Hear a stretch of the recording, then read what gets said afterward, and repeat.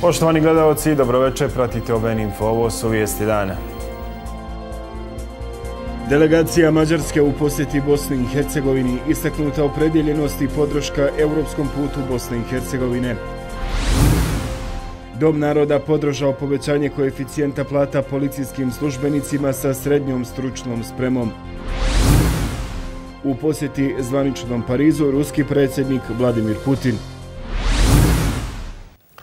Delegacija Ministarstva odbrane i armije Republike Mađarske doputovala je u službenu posjetu Ministarstvu odbrane Bosne i Hercegovine. U okviru posjete održan je sastanak s ministricom odbrane Marinom Pendoš i najvišim predstavnicima Ministarstva odbrane i zajedničkog štaba oružanih snaga Bosne i Hercegovine. Mađarska i Bosna i Hercegovina su opredjeljene za mir i stabilnost, rečeno je nakon sastanka delegacija dvije zemlje. Naravno, za Bosnu i Hercegovinu mir i stabilnost vidimo kroz evropske i euroatlantske integracije i u tom smislu očekujemo i dalje njihovu punu potporu u tijelima Evropske unije, ali isto tako u tijelima NATO-a, kad govorimo o Bosni i Hercegovini, o aktiviranju mapa za Bosnu i Hercegovinu, ali isto tako i kandidatskom statusu Bosne i Hercegovine sa aspekta priključenja Evropskoj uniji. Ministar odbrane Mađarske, govoreći o sigurnosti u regiji, izjavio da je osnovni interes Mađarske da Bosna i Hercegovina bude stabilna država. Magyarország elkötelezett Naš je doprinos da vama pomognemo na putu priključenja Evropskoj uniji. Dogovorili smo da prenesemo naše iskustvo o priključenju NATO-u i Evropskoj uniji, što je za vas, smatram, veoma bitno. Na sastanku je razgovarano i o unapređenju bilateralnih odnosa kao i izazova poput terorizma, imigrantske krize, sajberkriminala. U tom smislu mislim da smo našli zajednički jezik, a sve ćemo to pretočiti u naše daljne sporazume, odnosno bazirati na našem memorandumu o razumijevanju koji smo već potpisali još davne 2006. godine. Ministrica Pendeš je napomenula da će 20. juna biti održano zasjedanje Sjeveroatlantskog vijeća i da će Mađarska dati punu podršku Bosni i Hercegovini za aktiviranje mapa, ali je istakla da to ne znači da će 20. juna biti aktiviran map za Bosnu i Hercegovinu.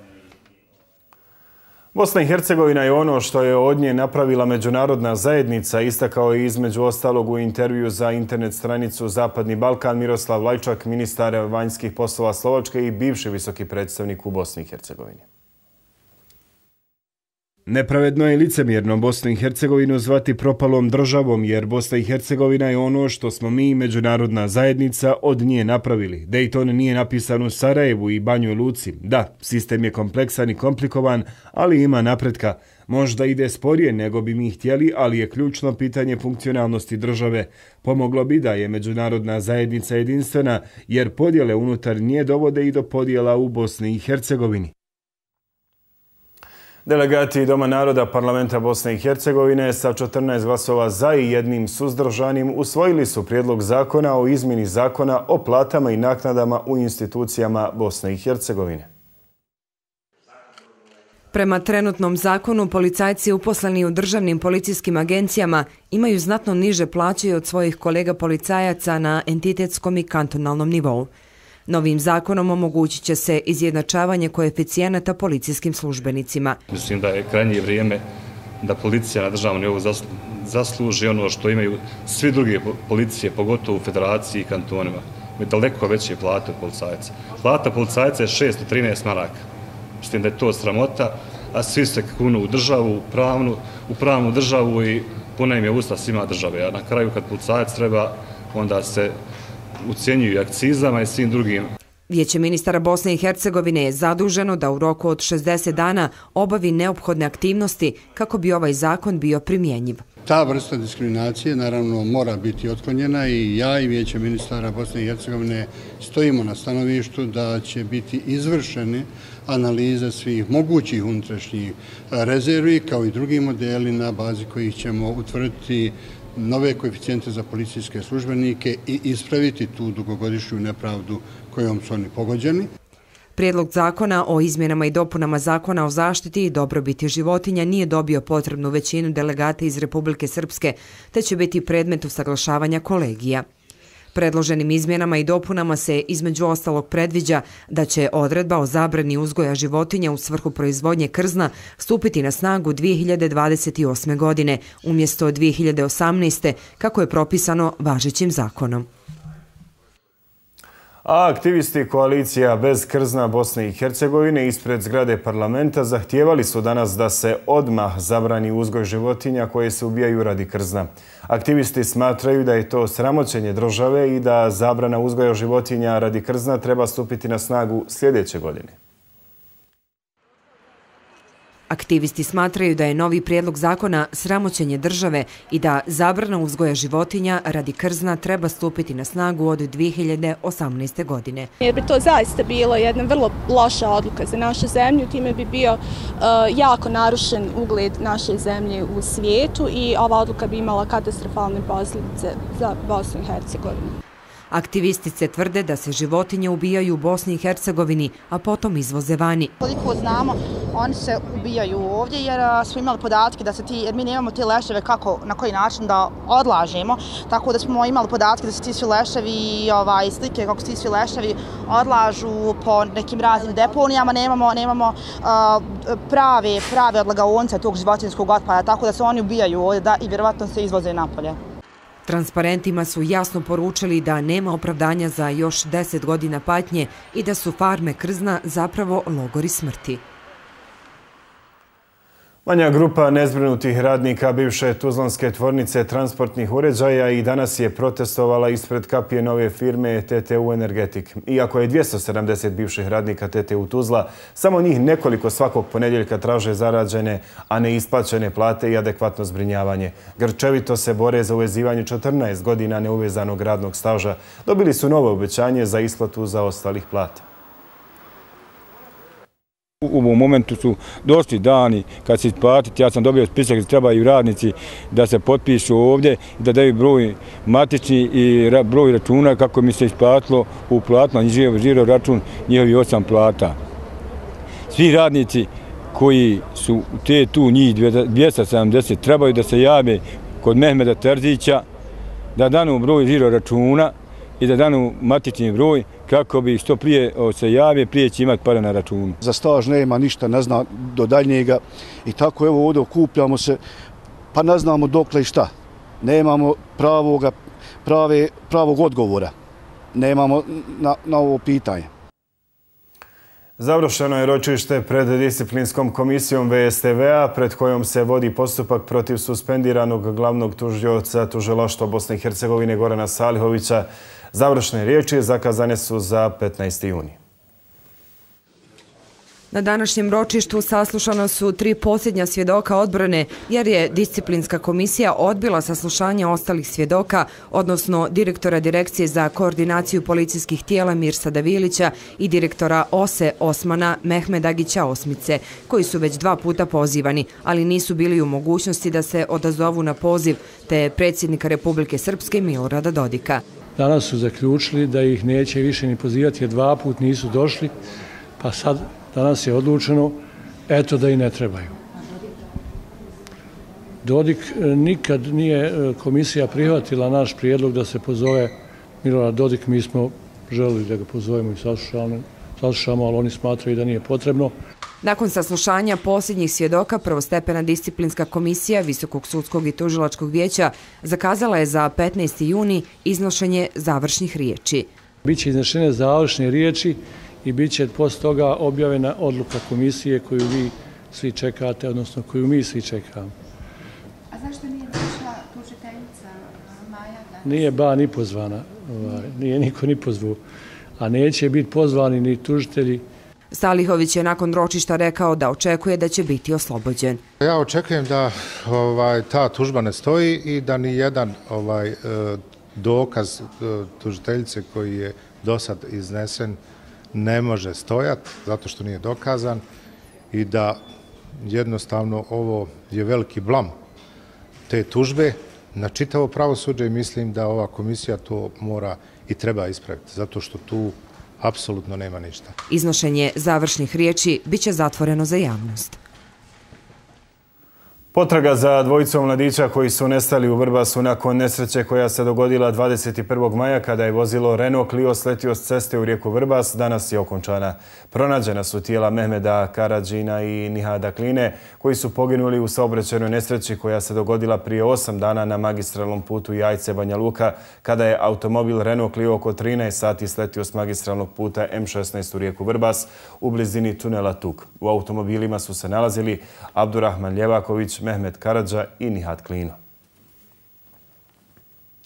Srčani udar pilota je najvjerovatniji razlog pada malog aviona južno od Mostara koji se desio 13. maja. Kako je objavio večerni list u Bosni i Hercegovini, dosadašnji tok istrage je pokazao da nisu zabilježeni tehnički problemi na letjelici. Tim koji je radio na terenu dobio je i zapis sa kontrolnog tornja aerodroma koji je nadzirao sve letove koji su se odvijali kobnog 13. maja.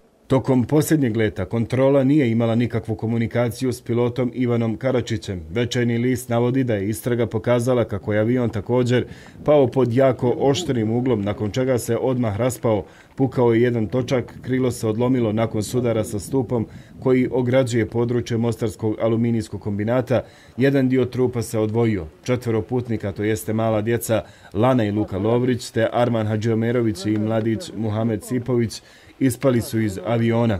Pilot Ivan Karačić, čije je tijelo dijelimično nagorjelo, bio je doslovno zgrčan i zalijepljen za upravljač. Inače, tehnički dio istrage koju je provodila Komisija Državnog ministarstva komunikacija i saobraćaja završen je. Ta je komisija izvještaj dostavila u ministarstvo, nakon čega je ono prosljeđeno tužiteljici Dijani Kajmaković, koja vodi cijelu istragu.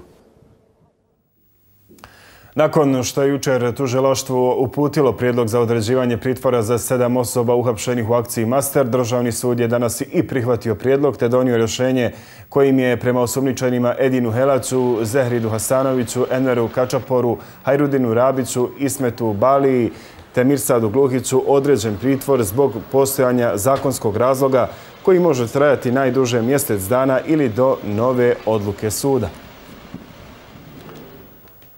Udruženje prevodilaca u Bosni i Hercegovini oglasilo se danas sa općenjima u vezi s tvrdnjama i izjavama visokih zvaničnika Bosne i Hercegovine da naša država nema dovoljan broj kvalifikovanih prevodilaca za engleski jezik koji bi mogli prevesti odgovore na upitnik Evropske komisije.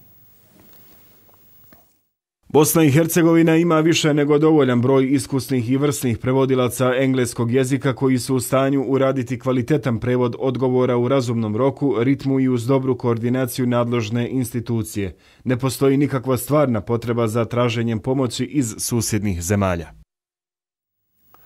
Danas je u Banjoj Luci održana konferencija povodom predstavljanja projekta Javno-privatno partnerstvo u Bosni i Hercegovini, čiji je cilj uspostava funkcionalnog sistema javno-privatnog partnerstva usklađen sa EU standardima i najboljim evropskim praksama.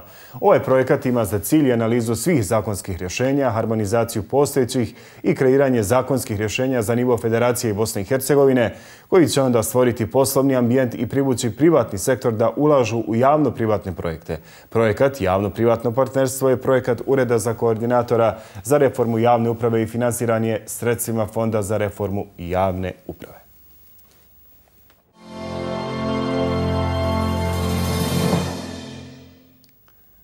Britanska policija saopćila je danas da je uhapsila nove osumničene za bombaški napad u Manchesteru, čime je ukupan broj ljudi koji su u pritvoru zbog ovog napada porastao na 14.